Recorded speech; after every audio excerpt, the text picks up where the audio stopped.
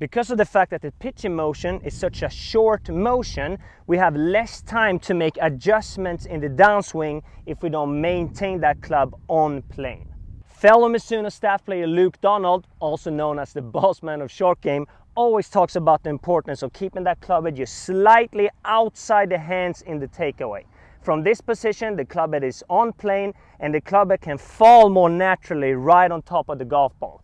A lot of players struggle with pitching because they suck the club head too much on the plane and from here the club is going to tend to fall down underneath the plane and tend to bottom out behind the golf ball causing a lot of fat shots. To work on this, grab an alignment stick and then place it right behind you and try to match the angle of the alignment stick to the angle of the shaft that's set up.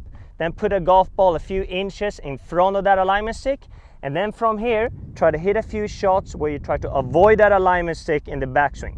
If you can do this, your swing plane is going to improve rapidly and you're going to become a lot more consistent with your pitch shots.